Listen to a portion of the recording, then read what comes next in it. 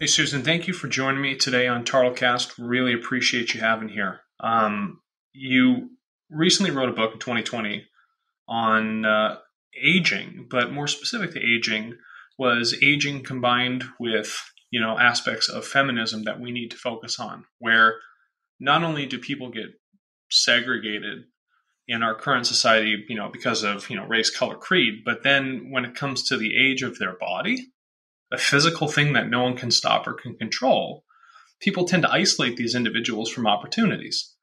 And then to go even further if you find yourself in some marginalized subset of a, bio, a, biological factor or a gender choice that you may you know find it more difficult for you to find these opportunities in our current society being a woman choosing to be a woman. And then if you're an older woman you know the odds are really not in your favor. So how is it that you came to first of all writing this book? Why is it such a focus? Why do you think they need to have such a voice right now? Why is it timely well, I have been writing about the uh, images of women in the media for quite a while, and I have to confess it has had something of an autobiographical element to it as I've moved through my own life and also watched my daughter, you know, grow up and uh, some of the media fare that was on offer to her. And so when I became, as we say politely, a woman of a certain age, I mm-hmm.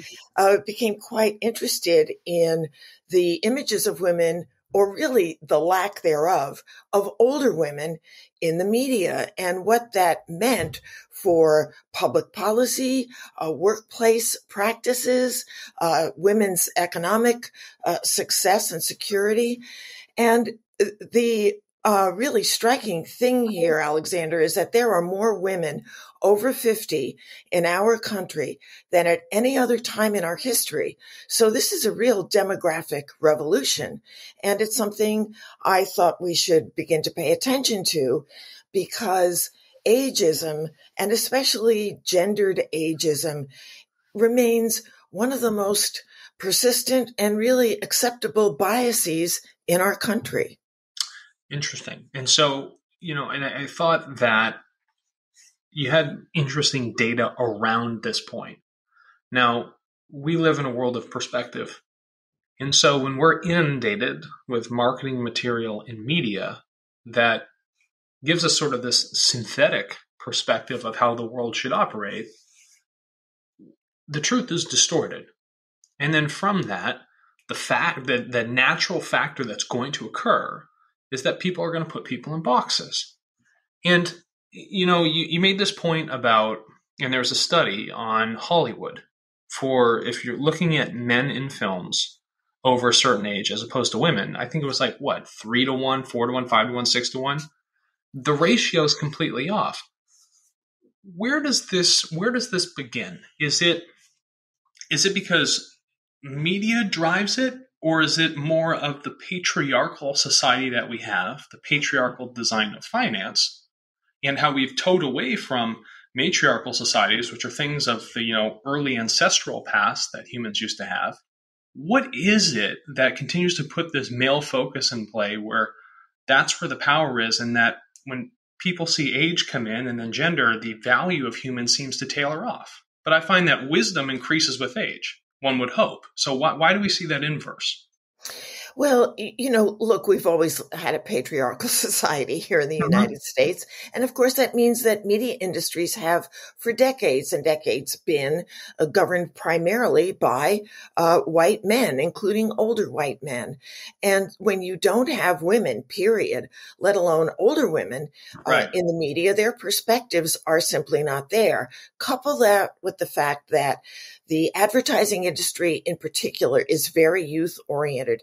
They want to get people when they're young uh, because they have this, uh, I think, misconception that if they get you to like a certain product when you're 12, 14, 20, they have you for life. Right. And, and that's actually not true. But uh, particularly since the baby boom, became such a huge market.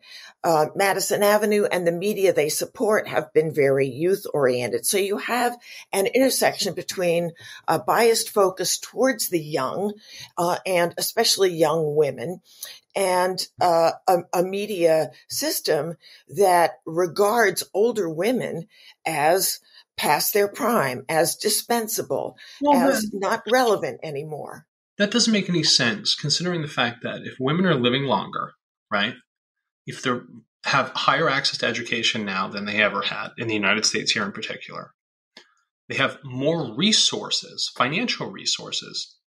And if I understood one of the Nielsen studies correctly, the data says that individuals 60 and over watch far more TV and media than the younger millennials, which are they're focusing the ads on to even capture revenue from them. So why is it that you know the the generation of older women are being pushed to the side? Why is it that the focus doesn't make any logical sense? What is with that? It doesn't make any logical sense. I mean, for years, Nielsen didn't even count people over 50 you know, hmm. they were irrelevant. And this was crazy. so much television, uh, as you pointed out, skewed older.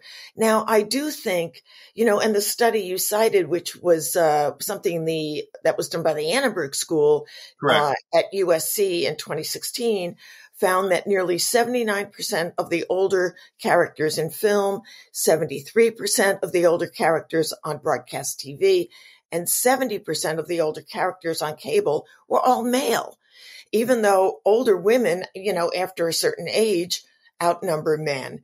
And this is a residue of age old biases about older people in general and older women in particular. Having said that, we are seeing now, and we are in a turnstile moment because older female actors, whether it's uh, Meryl Streep or mm-hmm. Diane Keaton or uh, Bette Midler, right. um, you know, are um, uh, Jean Smart. They are uh, not wanting to be put out to pasture. Some of these women actually have clout and they are starting to get really important parts, both in cable and streaming services and in movies. So older female celebrities are pushing the envelope. Uh, you you look at uh, Grace and Frankie, a huge hit for Netflix. Right. You know, now in its sixth season, I believe. Why is that? Because everyday women who are over 50 are also reinventing what it is to be an older woman. They're working longer. Uh, you know, 33% of women between the ages of 65 and 70 are still working. 17% of women 70 to 75 are still working. Some of them because they love their jobs and don't want to quit, and some of them because they have to. So older, everyday women are out in the world living their lives very differently than older women of a previous generation. And Hollywood is very slowly, but it is beginning to catch up to this demographic revolution. You know, it's really interesting. So, you know, I told you earlier, I'm, I'm currently down in Florida. And from the places called the villages and everywhere else, they're not retirement communities. They're 55 plus. And I tell you, there is more spending money more leisure time, and more of those people in that age bracket, men and women alike, doing more physical activity than I even do, right? I'm nowhere even near that, mm-hmm. right? But to watch that, it's like, you know, if anything, it's untapped. You know, in the in the retail market for people moving into housing, home ownership, right, inside these places, you know, they get it. It makes a lot of sense. But the perspective from the outside is that people have these stereotypes and they think that value drops with age. And I think that we need to work to invert that because there's so much data, even in the medical sense, which you talked about, to say that when you know doctor students, right, students that are you know getting their MD, if they don't establish a relationship in their studies with people over the age of 55 and up, 60 and up, what they find is that there's a lot of misdiagnoses for what's going on because they think it's just a function of age when it really could be the same thing that might affect an infant or a millennial, you know, or anybody, you know, in between. And I think, you know, it was right here. This was the quote. And as soon as you hit 65 and go to the doctor's office, you're bombarded with questionnaires about falling down, how good your memory is, whether you had a bowel movement in the last fortnight. Listen, I understand that there are some stereotypes. The body, like anything else, with age, things change. But it doesn't mean that absolutely everyone begins to have certain failures at the same point. So I think that that false perspective is actually doing a disservice. There's a lot of you know, older women specifically in the United States that have so much value they can deliver, even in the workplace, outside of it. But, you know, there are a lot of opportunities that aren't available to them. So, where do we look for that sort of solve? Because outside of medical research, right, with misdiagnosing because of ageism, and then moving into you know the economy we're currently in, how do we start to make those opportunities ripe again, Susan? You know, I think that uh, I, older women are needing to and beginning to reach out to younger women.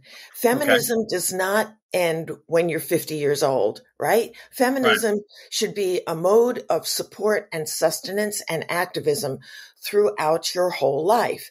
And so what are older women told? Uh, the biggest word that bombards us is defy, defy aging, as if we can defy an ineluctable biological process. That's my point. Yeah. Affects every person unless you die young. It's right. the one ism, ageism, no one can escape. And this is why it is very important to have uh, older people and younger people, older women and younger women talk to each other more, become more active politically across the generations, and to make younger people aware of the pitfalls of ageism. As you very rightly point out, there are now some programs at hospitals in New York where medical students are being introduced to people in their 70s and 80s, mm-hmm. not patients, just regular people.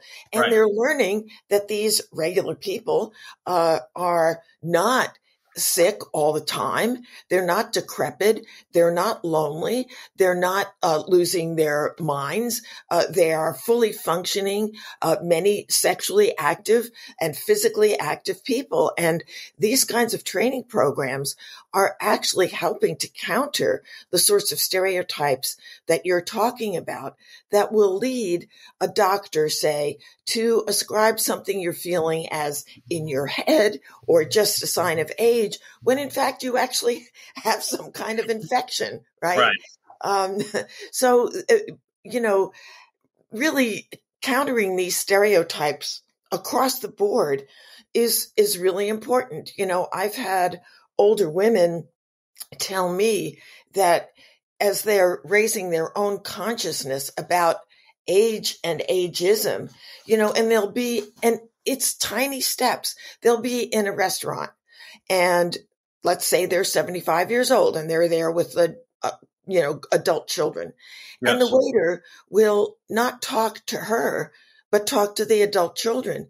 And these women are saying, excuse me, I am here and I'm the one paying the bill. Right. you know, um, older women are beginning to speak up in the workplace when they are overlooked, when they are interrupted, when their comments are ignored and saying, excuse me, citing their experience and insisting that they not be interrupted. There are all kinds of steps, large and small, that older women are taking because they're fed up. Do you know this? This is this is the data is showing us. It, it's telling us. There's a difference between telling and showing. The data is telling us that there is a social conditioning that has happened in our society that marginalizes people. And how we look at things is incorrect. The data is telling us that. But in, if we look at the stance of those doctors establishing relationships with individuals outside of the hospital, it's almost like you need to bring the data close to home. You have to make it personal for people for them to really understand. That's one of the greatest difficulties is you can have studies all day long, all this information. But unless the only time human understanding occurs is when people can actually experience that thing. So the data can be screaming at us, but people need to experience the truth that is out there that the data is telling us to look for, essentially where to look. So when I when I see this and I see these studies, how is it do you think that we should take this data and make these experiences personal? How is it that we take what we see here, even in the United States and the data we have, and how do we apply that to other cultures where there's even stronger, you know, patriarchal structure, whether it's in the house itself or things outside of it, or women at all having any opportunity to get into the workplace. Because there's women who listen to this from 222 countries across the globe.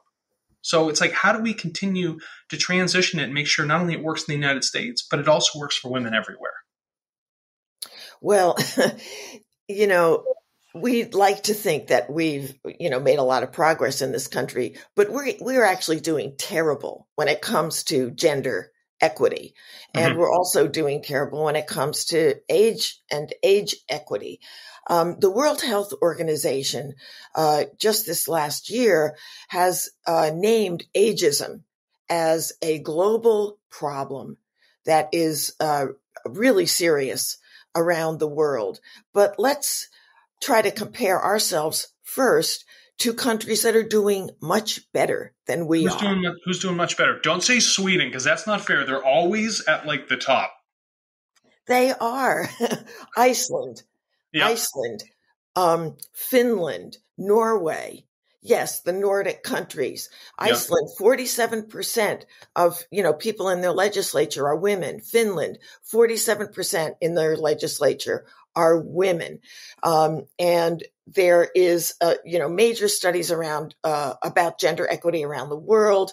And we're actually behind Tunisia, Ecuador, and Bolivia in terms of, you know, how we are performing across women's political involvement, women's economic security, women's health, and women's educational attainment. Wait, that, that's really interesting. Are there are there examples for that so that I can understand that? You know, when people say we're behind, well, well, comparatively, like how far up the highway is the car compared to where you are? Right? Are they doing 100 miles an hour?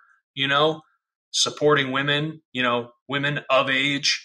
Right? What's what's the differential look like comparatively to us here in the United States? Well, in terms of women in general, we rank 75th in the world in terms of the number of women in national legislatures. And this even after the 2018 election when more women were elected. 75th, we rank 55th in uh, infant mortality rates. We're lower than we were in 1960, and mm. we're hmm. behind Cuba, Estonia, Slovenia, uh, not to mention the developed uh, European countries. So, uh, overall, when you look at women as a group, uh, the America is so behind. You know, only 4.8% of Fortune 500 companies have uh, a female CEO. So, you know, across the board, when it comes to uh, sexual harassment, assaults on women's reproductive health, which is, you know, huge right now in our country. Yep. The glass ceiling, pay inequity, job segregation, no child care we are an embarrassment when it comes to paid uh, maternity leave, paid paternity leave, and decent, um, affordable childcare. Hmm. You know, so uh, you take that as all women, and then you think about older women, and you know the um, poverty that older women, many of them, face you know, in um, in 2019, half of all older adults had 27,000 annually in yearly income. In 2019, the annual median income for men over 65 yep. was just over 36,000. For women, it was 21,000. So I know you're talking about seeing, you know, these semi gated communities um, where privileged mostly white people live. Right. And it can give the impression that older people are rolling in dough. Now, Nielsen did a study in 2012 excoriating advertisers for ignoring baby boomers because many of them had so much disposable income and right. nothing was being advertised to them except, you know, the big pharma stuff, uh, you know, that we, that bombards us on the nightly news and the weather channel. But on the other end of the spectrum, Alexander, uh, our country is terrible when it comes to older people without resources. They are trying to live on money that puts them, you know, below the poverty limit. And uh, it's so frustrating to me that, you know, Biden's Build Back Better agenda, which is such a female and family friendly agenda can't get through Congress. Well, you gotta you gotta think about how um, the, the people who are in our Congress, right? It's the exact same thing that you're trying to speak up against. That sort of structure, right? It's it's it's glaring at us. It's in our face, but it's very hard to make that sort of change in those systems, right? So, how is it, Susan, that we're going to take the data, right? We're going to take the experiences and we're going to take the people that are truly affected and other individuals that support those people that are affected and get them to come together and facilitate the proper change and opportunity needed for those groups. Where do we where do we set our focus? What is the first target we need to look at, and how do we do it collaboratively? Well, you know, the first target, which is the biggest, biggest problem facing the United States, is the inequitable distribution of wealth. Hmm. That is our biggest problem. And it, of course, affects women. It, of course, affects people of color. And it seems to be an almost intractable problem. Not because everyday people don't support fixing it. They do. Everyday people, you look at public opinion polls, people want the super wealthy taxed. They don't want the super wealthy shoving all their money off into, you know, offshore tax havens. Mm-hmm. They want Jeff Bezos to pay his fair share of taxes. But we have, you know, so I'm telling you, I don't have a good answer to your question because you're asking a very big and important question. How can we remedy our political system so that it is not constantly, always working for the rich at the expense of everybody else. And our big problems that contribute to that are gerrymandering, for example, the structure of the Senate, where, yep. you know, you have uh, states like Wyoming and North Dakota and South Dakota having the same representation as New York and Texas and uh, California. So we have really big structural problems that many of us recognize. And we just shake our fist at the cosmos in terms of trying to fix that big problem. And that's the big one from which everything else stems. And so, you know, various of us are out there writing our books, giving our talks to whoever will listen to us about the need for uh, social justice and equality across the board in our country. And we're very passionate about it.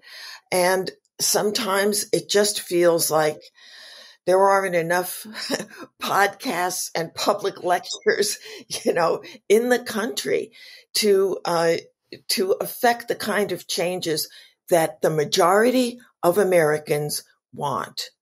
So are these it, it's it's not going to happen anytime soon, not in my foreseeable future, or probably many generations after me.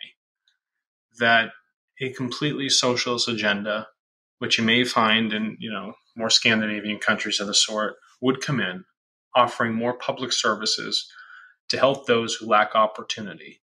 Um, to access to, you know, healthcare, childcare, things of the sort. And even more so, those groups which are 60 plus, and even more so beyond that, women, right? So if, if I understand it correctly, it's not so much about taxing the rich, it's people actually asking for resources like the ones I just stated that can help them regardless of the income level. Because these are the things that are typically most difficult for them to get, right? To find the time to actually achieve that unless you have more exorbitant amounts of wealth, which are brackets they actually just don't sit in. So is that really what it is? It's not so much of the you know, politically coming in and say tax those people that are wealthy, but really change the structure of our spending so that it adds more social programs in place that afford those the things that are actually needed for them. Because money actually doesn't solve anything, but giving people opportunity, putting those systems in place, and the ability for them to go use it, I would see that would be a different sort of change. Do you see where I'm headed with that? Well, I, I do think money matters. I think if if you took some money out of our completely bloated defense budget. Oh, I know the F twenty two, all that stuff. I that I get right. Yeah, right, which which passed Alexander, you know, several weeks ago. Not a peep, not a peep, right? But this three point five billion dollar Build Back Better plan, which is, eh, you know, nobody talks about. Oh, it's spread out over 10 years. It is actually affordable. Yeah, if you got rid of got rid of a few of those aircraft carriers and fighter jets that don't work and you put that money into affordable childcare, of you know, paid family leave, uh, you know, a, an infrastructure, a human infrastructure for more teachers, to yep. pay childcare workers what they're worth, to have more support for older people who do need in-home care. The money does matter. And, you know, but you're right. People have to agitate for it. Yeah. That's, you know, it's, it's tough. It's tough. Well, listen, I got to tell you, Susan, you've written a book which is for some people a very hot topic, and for others, it's a topic they've never even focused on. So the work you're doing does not go unnoticed, and it's important that we have these conversations so that individuals can understand the full complexity of really what is going on here. And that when they walk outside, walk out of their homes, or even look to their own family members, maybe there is a 1% shift in perspective because that 1% shift across billions of people or 330 million in the United States can make a dramatic difference. Well, you know, I think it is very important to raise people's awareness of ageism. You know, it's so woven into the weft and warp of our society that it goes kind of unnoticed and taken for granted that older people can be dismissed, that they can be marginalized, that they're thought of as, you know, lonely, decrepit, sick all the time. And so, you know, I uh, teach, you know, at a university and I teach about the media. And of course, I have to teach about how the media uh, represents certain kinds of identities uh, gender, race, etc. And so I've started teaching about ageism, and it is one of the isms that my students are most taken aback by because they haven't even thought about it. You know, right? That's my point. Yeah.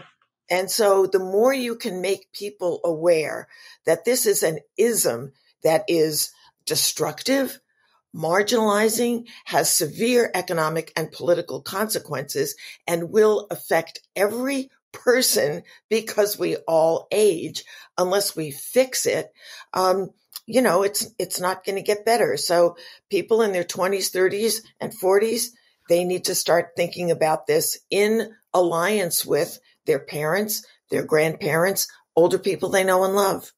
Right well listen susan you've said it and the data is there that supports what you have to say about this and so just as much as we have a global pandemic, there are other longer, more entrenched things that are just as crippling to our society that require our focus and attention. So, thank you very much for coming on today to speak to me about it. Well, thank you for having me. It's been a pleasure. Most definitely. And if, if people want to read more about your work, your studies, the books, anything regarding that, where should they go? Well, uh, the book is called In Our Prime How Older Women Are Reinventing the Road Ahead. Uh, and of course, it's available, you know, in uh, local bookstores and, um, of course, Amazon. right. Jeff Bezos, pay your damn pay your damn taxes, right? but sell my book. oh, yeah. that's too funny. And you have a personal website that people can go to to learn more about you? Yes, it's susanjdouglas.com. Um, Beautiful. Well, listen, Susan, seriously, thank you again for coming on. I really appreciate it. It helps enlighten me. I'm educated, educate, more educated now. Can't even talk straight. And also helps educate those that get to listen to it. And that's really important. Well, thank you very much, Alexander. Appreciate it.